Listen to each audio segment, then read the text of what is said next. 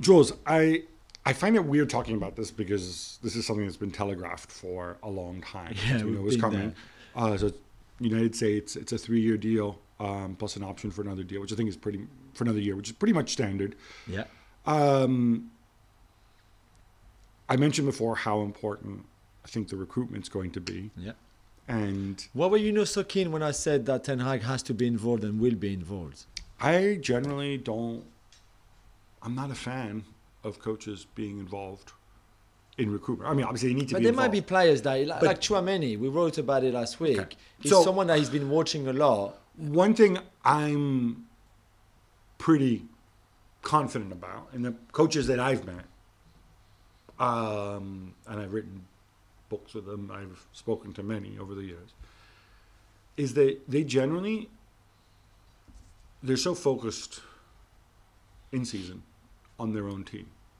That is where all their inputs are from. Yeah. um, and sometimes the younger players who might be coming through. Sometimes when they have to prepare for an opponent, they'll focus a little bit on their opponent. Although Ajax tend to not adjust their game to the opposition that much.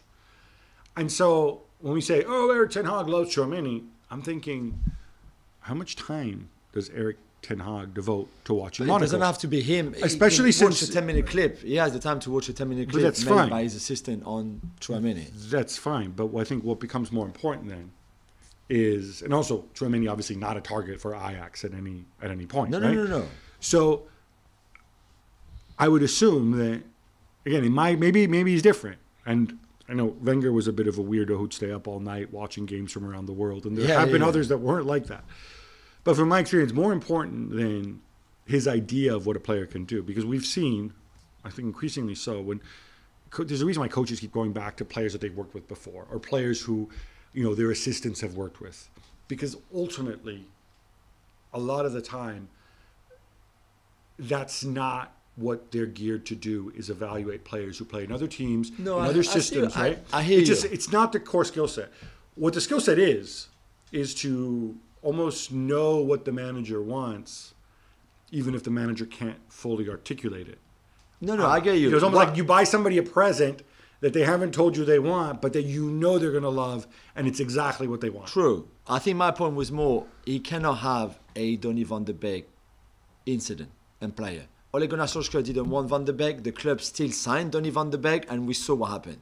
This, this, you cannot start a, a rebuilding job as big as this one, and bring players that your manager doesn't want. This is not, this is not possible. This, this should have never happened Uh, before anywhere, regardless who the manager was. But even less now. This is a critical time where he might not be involved fully, like you said. I hear, I hear what you're saying. but I just don't think he should I don't, I don't think that that's the best use of his But no, because he's going to say, okay, I need a number eight. This is the profile that I want with these qualities. Right. So, you know, good in transition, strong, I don't know, whatever.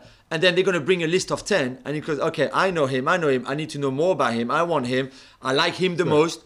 And then they're going to make that happen, right? This is what's going to happen. How it should work yes Yeah. But you cannot, again, But- you cannot have a Donny van der Beek incident here. but again You don't have the time. I would refer you back to something else about Erik Ten Hag. Erik Ten Hag, because of his profile and where he's worked, um, you know, he's 52 years old. He's really only had two jobs as a number one. I mean, he was at Bayern Munich uh, reserves, Reserve right? team, yeah. Bayern Munich in the third division. Um, at Utrecht, I have no idea what kind of budget he was working with. But when he arrived at Ajax, you're arriving at a very strong club filled with very strong-minded people, Yeah. right? From Van der Sar was there, Overmars was there. I'm sure, 1,000% sure that when he arrived at Ajax, Van der Sar didn't go to him and say like, ah, Erik, okay, who do you want to sign? Give me a list of your targets and I'll get them for you. No, no, no. I'm sure that Van der Sar said, Erik, we have these players.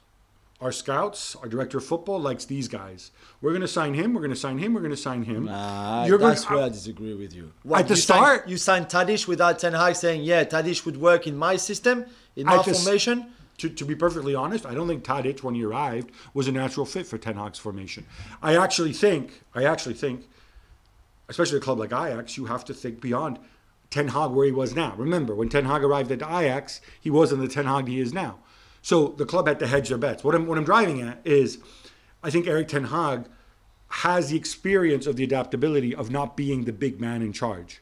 And I think that is a strength. It's a strength that he can go and he can work with imperfect players, that he can work with, you know, the team that he did so well with, and then obviously everybody ended up leaving, right?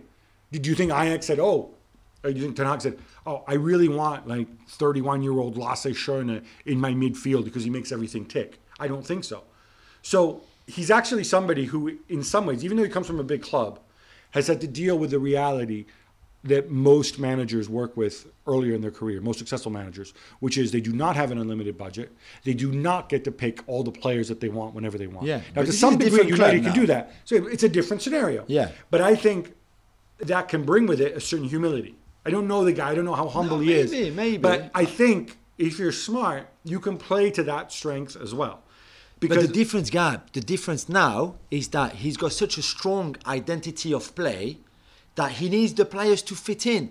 This is not about, oh, let's sign him because he's a big name or him because he's a world champion or him because of this. No, you sign him because he will fit rightly into what Ten Hag is going to do there. So it doesn't work if you sign Paul Pogba again or another Paul Pogba. And Ten Hag, I would want to believe, is going to say, no, no, no, that's not what I want.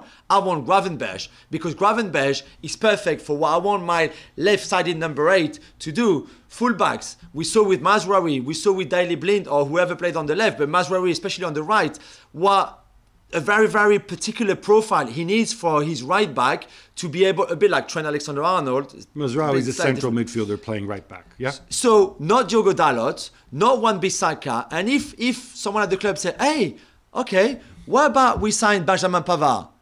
I would want to believe that Ten Hag said, "What? No, no, no, no. This is not the guy I need here." but- you see what I mean? but- this is the difference here. At Ajax, he had the players perfect for what he wanted to do. I- not I- here. Okay, I can't pretend to follow Ajax as closely as some people do, but my understanding is that even at Ajax over the years, Daley Blind at left back and Daley Blind at center back are two different things. Yeah. Daley Blind at left back is a left-footed Pavard. He's a little bit cooler. Well, Um, better on the ball, much better on the ball. and cooler Yeah. than Pavard. But um, you go from that to Tagliafico, who's a completely different player. Yeah. Right? Uh, so I think there's been an evolution there as well. When, when he played, when, when, when you had Edson Alvarez playing in front of the back four at Ajax, whereas before you had Frenkie de Jong, very, very different. Edson Alvarez doesn't have the passing, doesn't No. cover the ground. That he's much more of a defensive player. So even within that, when you talk about strong identity, he's shown a lot of pragmatic flexibility. I think within that, and I think this is something that, if you're Ten Hag, you want to emphasize. And look, we're going to spend a long time speculating about transfers and so on. Yeah. But I think it's very obvious there is one starting point here, which is the future of Cristiano Ronaldo Yeah. because this impacts everything. Because you can talk about strong identity and strong brand, his brand is puny compared to the Cristiano brand. And United are in a situation where Cristiano has another year in his contract. Yeah. He makes an enormous amount of money. He, I think it's easily it's it's nearly a third of United's wage uh, bill, and that is a very big wage bill. So you have two factors here. One is if Cristiano leaves, then you can have more flexibility to bring in more players or more Yeah, expensive players because even though United have a lot of money, nobody's money is unlimited. If he stays, you're in a situation where you're not going to bench Cristiano, so you have to think think how you're going to use him. Yeah. Yeah. Right. You're right. And you can talk about strong Ajax identity. There is no Cristiano But Ronaldo in the Ajax identity. We agree that this point has already been sorted in the sense that when Ten Hag met with Richard Arnold, the Glazers, Murtough, Fletcher, whoever you want, this They- has been addressed and sorted out already. They know what's going to happen. 100%. When Mark Ogden and I did our United kind of keeper dump series, I said, first thing, new manager that we interviewed, we didn't know who the new manager was going to be. What is your plan for Cristiano? In case Cristiano wants to stay, you need to give me a plan for Cristiano. You need to give me a plan without Cristiano.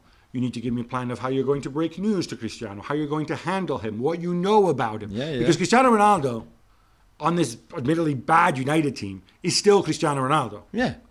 He's the only And- one scoring goals anyway. So, Yeah, I don't. you know, like, I'm- those people who say, "How could Cristiano Ronaldo ever be a problem?" If you ever say this, you're a freaking idiot. Okay, but it's equally true. Cristiano Ronaldo means you have to make adjustments elsewhere. yeah. I'd, I'd, So right you now, hope, if you're not a fan, you hope that they had that conversation and that Erik Ten Hag came up with believable answers that he believes in and that he's excited to either make it work with Cristiano, maybe Yeah. just for a year, or make it work without Cristiano. and and and the club backup of course because if he said i don't want him here he doesn't fit in what i want to do i need a center forward who is involved in the build-up play who Then can counter press or you agree to get rid of cristiano then and and But you say can't get rid of Cristiano. well you can you can t- you, can- you can say listen you know we don't want you here next season so you can stay but you're not going to be the number one striker Right. So if you do that, and he might say okay i want to go back to sporting give me my money no, no, I- they're two different things, right? So if you're telling Cristiano, Cristiano, you're not in Ten Hag's plans. Do you want to find another club? And that's a very delicate thing. You even went through it all of last summer. Let's not Yeah, forget, yeah, right? yeah. Uh, all of last summer, and in the end, Jorge Mendes had to travel around Europe saying, "Who wants Cristiano? Who wants Cristiano?" You know, like like a door to door salesman. Yeah, yeah. Which personally, I think is a bit humiliating, and some, not something Yeah, Cristiano I'm deserved at this stage of his career. I'm with you. Not entirely his fault either. yeah But that is one of the big issues. And somebody smart at the club is going to have to figure out how to handle this situation. There's a million permutations. Tell you what, Jules, it's going to be fascinating to Yeah. watch.